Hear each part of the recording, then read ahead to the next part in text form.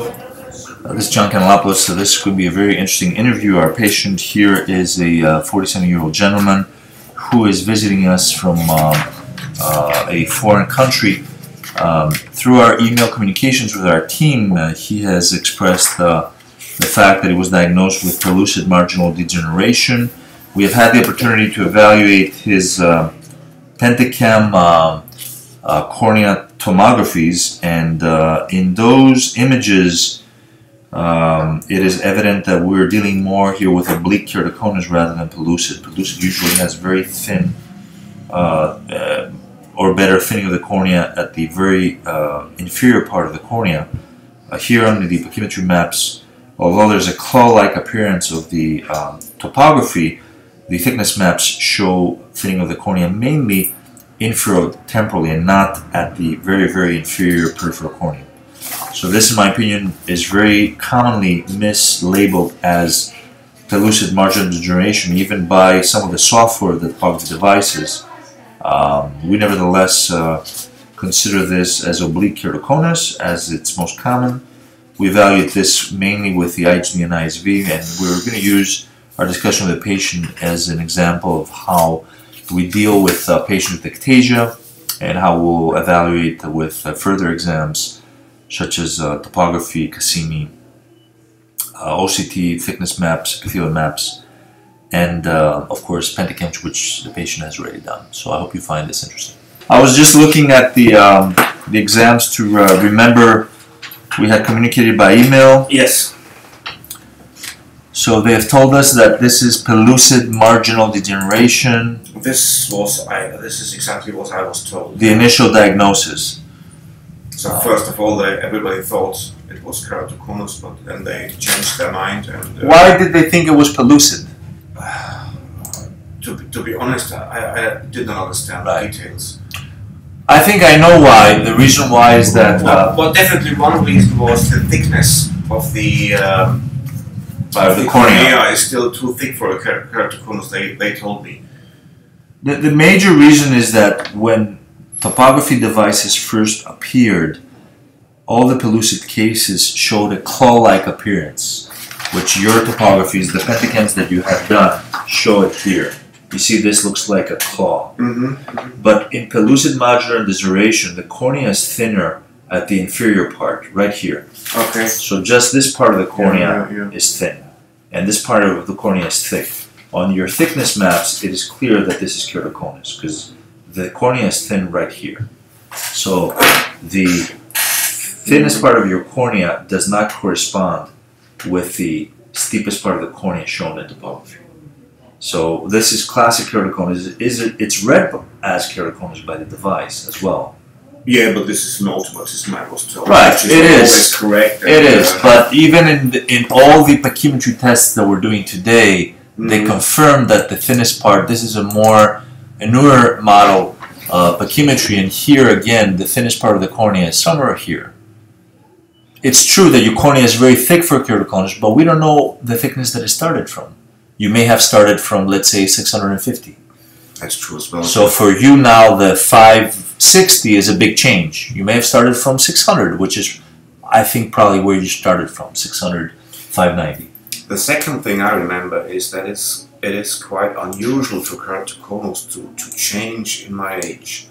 Um, a, a, huge change started in, about three years ago. Right. It was it was really it was uh, constant from my 30s to my 40s to my early 40s, right. and it, it started to change mass well not massively but um, significantly. Significantly. I understand. So when I was 44. Right. Which is which is everybody say too old for right. to change. It is true, but when you when you say change, you mean how you perceive your vision. Uh, yes, the vision got worse. Worse. The um, did the topography get worse? Topo topography got worse. Do you have older ones? Unfortunately, uh, not a Scheimpflug image, but right. I have topography maps. Yeah, those are not very reliable. Sorry. Those are not very reliable. Yeah, that's the, that's the thing. That's the problem. The Scheimpflug it, it was not it was not correctly diagnosed until four years ago. Right. That's that's the thing, right. you know. I'm not from a big city. I'm from the countryside, right. and uh, you know doctors there that don't have the equipment. Well, it's natural. This is a very specialized center that will have all these exams, and you see how many uh, topography devices we have here. I mean, there's no center in the world that has all these topography devices. So, so I started for for uh, like a, a, a professional with, with keratoconus right. uh, four years ago. I went to Berlin, I failed. I went to Nuremberg, I failed, and uh, uh, eventually I I uh, was with. Uh, at the office of Dr. Neuhann in Munich. Okay, I nice. Think he, I think you know him. Yes. So Which I- I one, wasn't- Thomas or uh, I was not. I was not with him personally, but Right. Thomas, I guess. Thomas? But I. I was. I was um, examined by someone from his team, okay. and this is the the first word I heard from you within that uh, Yeah. office, because I asked for a, um, a treatment, Yes. and all they could say is uh, we, we can try um, this cross-linking, Yes. but it, it won't have that effect because they said because it's uh, pellucid marginal uh, what's the exact name Degeneration. degeneration. Uh, Uh, yeah, PMD. by- We say PMD, PMD, sure. PMD. PMD They said sure. by that time they cannot really treat it like keratoconus because it's more in the in the outer in the, the outer skirts of the eye. So this was their their diagnosis. by well, the, your maps show that the thinnest part of the cornea is near the center, so this is this is 100% keratoconus, in my opinion. I mean, all the tests, all the thickness maps show that the thinnest part of the cornea is very near the center, so this excludes pellucid. Pellucid we'll show you a map of pellucid is very characteristic. The thickness maps show significant thinning all the way on the bottom of the cornea. It's a very classical picture. And in pellucid, the cornea does not bulge up; it bulges down like a teardrop because the thinnest part of the cornea thins here, Mhm. so the center flattens, Yeah. and the bottom of the cornea sticks out. Ah, ah, right. So it's a teardrop. But it, it looks like a bit on my topography. Uh, the the the Here in the in the in the lower part of the. yeah, but this is not in pollution. It's all the way down here, All right. Even, and even the, further out. right, and the thinnest part of the cornea is also here. Well, everybody who, who took a closer look so far said um, it's not um, Typical. A, a very a very typical Yes, it's picture not of, typical. of either either one. Right, right. Well, that's reasonable. the other thing is, you wearing contact lenses may have changed this a little bit. Do you rub your eyes a lot? No. Not much. Okay, not that much. that's good. Let me ask you to bring your chin in here. I'll wash my hands here for a second. Okay. So unfortunately, on this exam that we'll do now, I'll take this for you to have on video. Uh, we don't. Um, yeah, another thing. Um, tricking your pictures, the Scheimpflug images, is that you're developing a little bit of arcus, and that uh, tricks a little bit the pictures. Mhm. Uh, you'll see this little white shadow. You may be able to see it in the mirror Mhm. uh, that you have on the bottom of the right eye. I Do you know what this could be? This is uh, this is uh, normal. It's Normal. Uh, yes, it's normal. It's not pathologic. It, your body deposits cholesterol there. It doesn't mean that your cholesterol is high. It is. It is, but even people who have normal cholesterol sometimes develop So this. the, the, the team member of Dr. Neuhann, she, said Yes. it's absolutely impossible that this is cholesterol. Uh, no, this is cholesterol. you, you can read it on the internet. It's called Arcus senilis, and uh, the, it, it's completely benign. The only problem is that it tricks the Scheimpflug imaging at that area Ah. because the light does not go Yeah. through. So fluke will show that area that it's thinner. Uh, where topography, which uses only the surface reflection, is not affected. Because on the reflection topography, uh, the back inside of the eye is very good. You have images. Yeah, yeah. So we're taping this for you. So the rest of the eye looks normal, except there's a little bit of arcus. Uh, and on your uh, Placido disc topographies, uh, the picture will be a little bit different. So this is why, yeah, a little bit different. See here, the steepest part of the cornea is shown here on the Placido disc topography. See, this is just measures the image of the surface. Yeah, this is what I have back uh, back to 2002. Right. Right. Because this this pictures has Yeah, taken my, this is my older. Optician. yeah, this yeah. is older technology. But and though the Scheimpflug shows your cone to be a little bit more inferior, Mhm. but this is this is just an oblique cone. The thinnest part of your cornea is right here, according to fluke, right here. Mhm. And according to Pentacam, I'm sorry, OCT. These are OCT images of your thickness. Mhm. But the only difference is this is only the central six millimeters. This is measuring nine millimeters. Alright. This is six. So this is just the central part. We're Yeah, seeing yeah, yeah. just the central part. But as far as the thinnest part of the cornea, it's, it's again defined within. This is six, so this is about three millimeters from the center of the cornea. So the left eye is down and towards your ear, right eye is down and towards your ear, three millimeters from the center. So this is 100% oblique keratoconus, which may have not changed the last five, six years, but you may have noticed the change because when we grow older, the cornea becomes stiffer and it's less flexible. Mhm. So some people with moderate keratoconus like you discover or feel their eyes are getting worse, not because they're getting worse. We can't prove this. We should have had these pictures from 10 years ago to prove it. Uh, but uh, they just change, uh, in their opinion, because the cornea becomes cross-linked by itself Mhm. and it becomes less flexible. Mm. So you notice the irregularity more. Uh, in my opinion, if this doesn't change, it doesn't need treatment.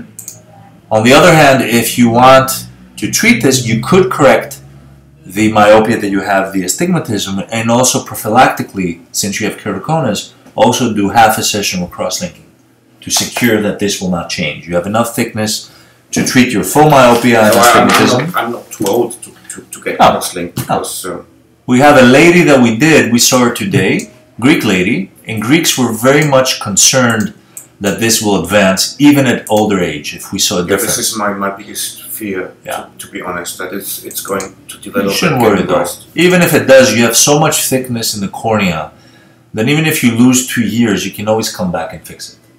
We worry if your cornea is thinner than 450. And it's, right now it's 50, 550. 550. So there's really no worry. If you were 23 years old and the cornea was 440, then we would tell you do it for sure. It's imperative. Even if 1 in 10 chances it wouldn't change. Mhm. So we know for 20 year olds, every 10 people that we do, one person doesn't really need it. But in order to be sure and secure that they're not going to thin very much and require a transplant, we're probably doing more, one, 10% more than we should. If the thickness is so good and if you're functioning well, you have all the time in the world to first study if there's any change, objective change, and two, see how you feel with your lenses and the possible correction. I can show you, lady, that we did. Um, uh, we've done since uh, we started today, um, and I'll show you the difference how this changes. So this is a, a cone that's even more central than yours. Yeah. So you can see here uh, the difference maps are more most impressive. So see her here with a lot of uh, with a cone right here, and today, and we're able to correct almost 8.6 That's the diopters. difference. Yeah, this is exactly the cone. It's like somebody shaved Yeah. Ah, the cone off. And this is done topography guided. So this image goes into the laser computer. We tell the computer fix this. In order to fix this, and this is what even some surgeons don't understand. In order to fix this, you don't only have to shave this off. mm -hmm. You have to treat also up here in order to make this come up a little bit. So you can see to correct it. so you can see the difference here. Which makes this area come up a little bit. So it's not only important to take down the mountain, it's important to to fill this up as well. And only with topography this can be done. With wavefront, you can shave it off, but you have to go deeper because you have to remove everything up to this level. So So with topography, you can normalize your cornea yeah. uh, and see how normal this cornea is now and how irregular is here. For instance, the difference between here and here is 10 diopters, 44, 54. Now the difference from here to here is only 48.6, Yeah. 49, 0.4 diopters. And this gives good quality of vision. Less lines on the lights at night. Yeah.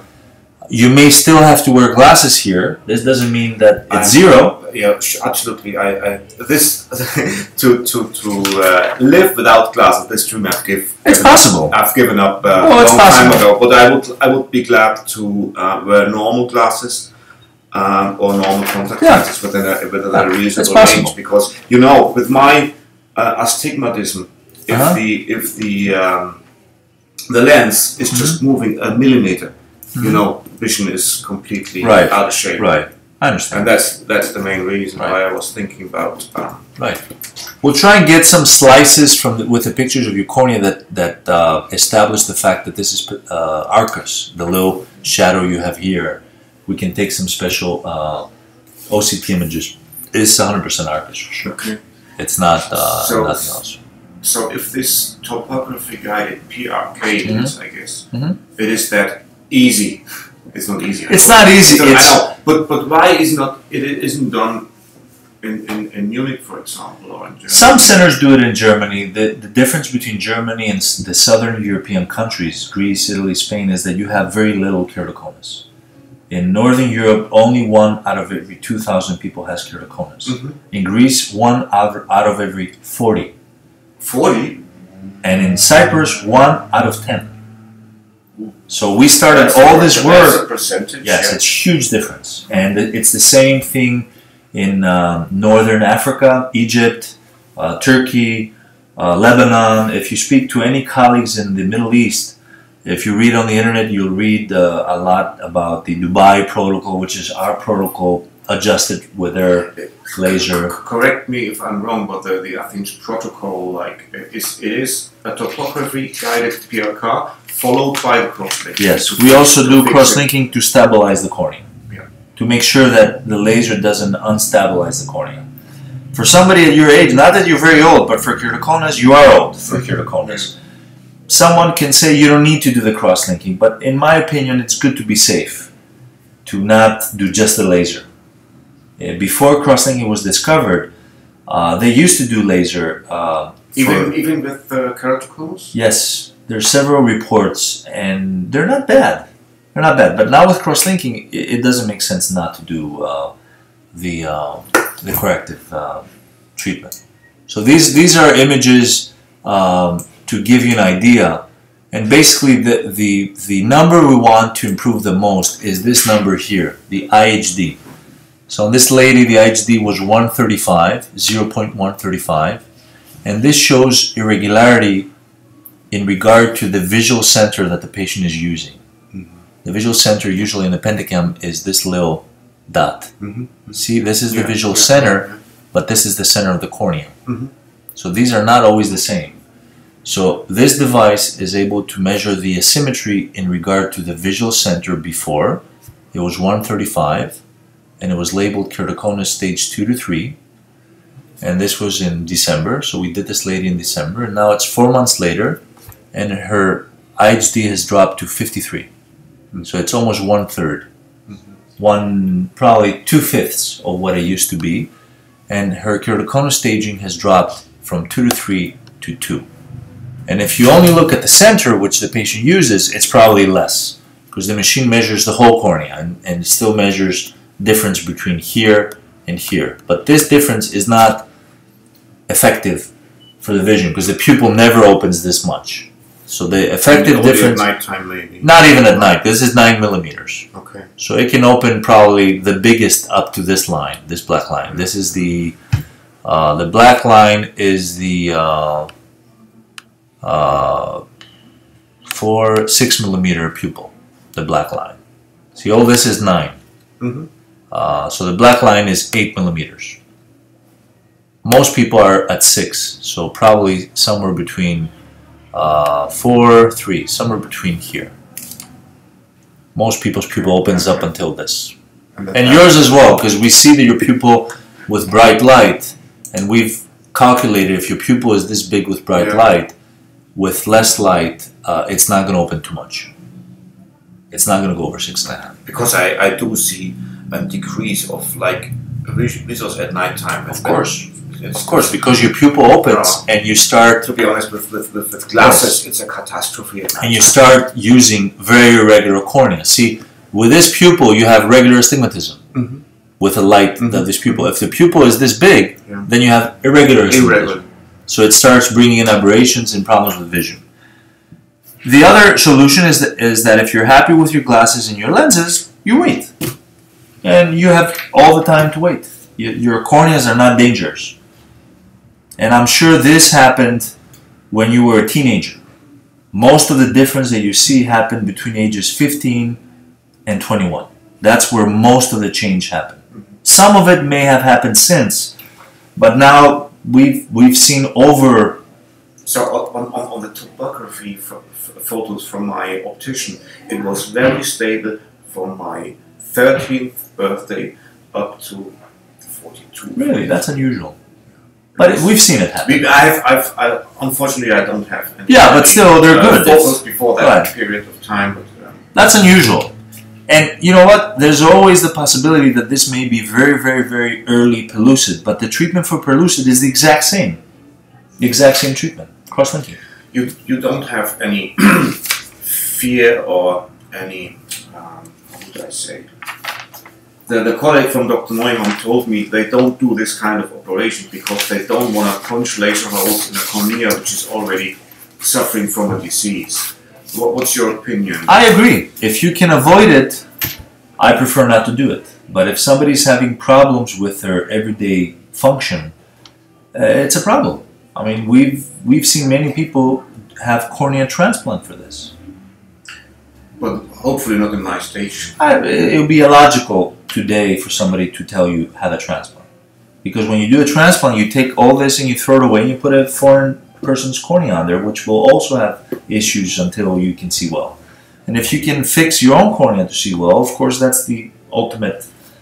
So, in my mind, the three key things that we look for either keratoconus or early pellucid are the age, and age-wise, we feel comfortable. We don't feel comfortable from the fact that you have documented that your cornea was stable for 10 years and recently it has destabilized.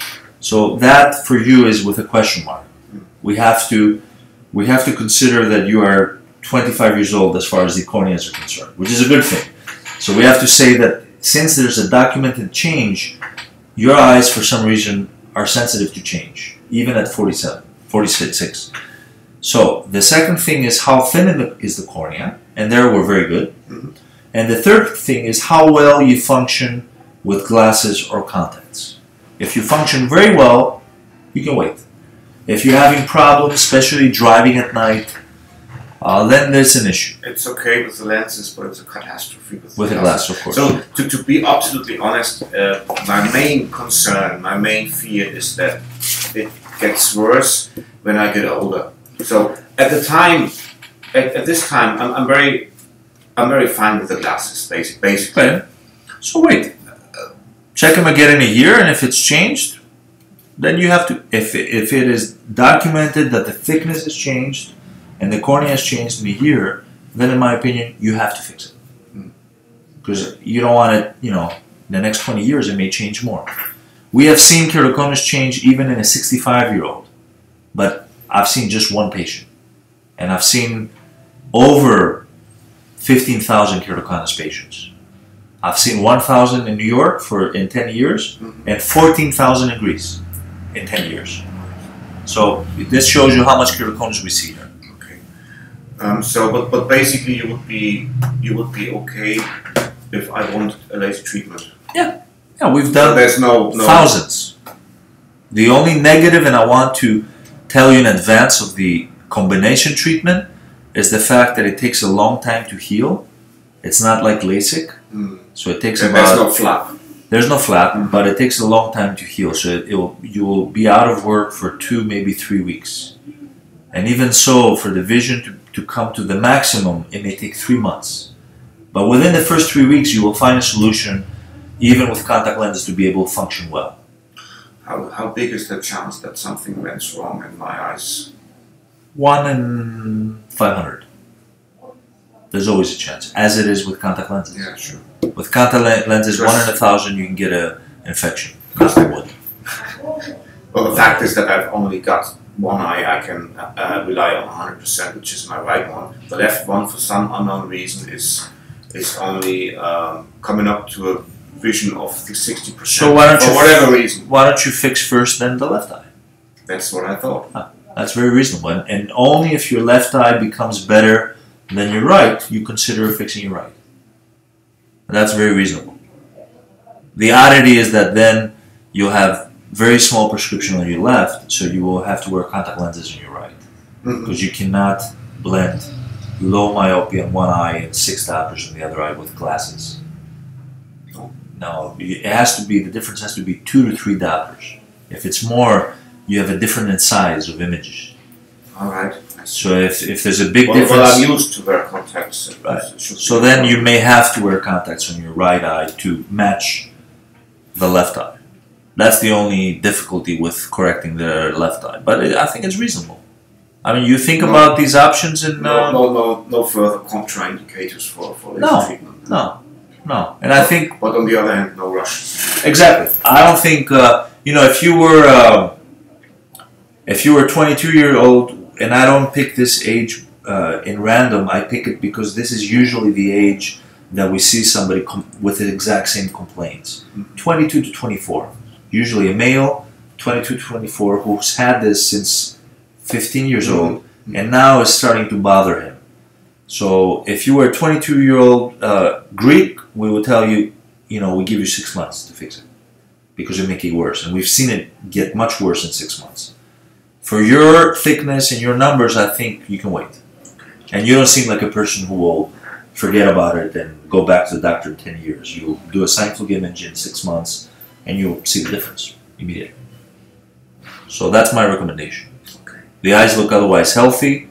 We've taped the exam for you. We'll give you all these testings to to hold the the Cassini is a nice new exam uh, that I think only one or two centers in Germany have it. Uh, it's This not. That, that's with the LED. LED. Yeah, that's the LED. The good thing with the LED is that it uh, it uh, it does ray tracing. Not see the the uh, Placido compares each circle with the Mhm. next. Yeah. So every so this topography is linear Mhm. and has the bias from this equation added to this equation to this Mm, yeah, equation, yeah, this yeah, equation, to this equation. On the Cassini, every three spots are ray traced individually. So theoretically, it's more accurate for very regular corneas, but it shows the same. So your Cassini image here is the same with the topography. It's very similar. And the other thing with Cassini is also measuring backside of the cornea, which helps us a little bit. It's a nice thing to have if your diagnosis is questionable. I think the diagnosis here is obvious. But you can also keep those in record So forget about PMD from now. on. well, you know, it doesn't matter what we call it. It's more academic. okay, okay. But if you ask me, I strongly insist that this is oblique keratoconus. Um, some people will say, you know, it's claw-like, so it's PMD. You know, it's it's debate for meetings. For you yourself, it doesn't make a difference.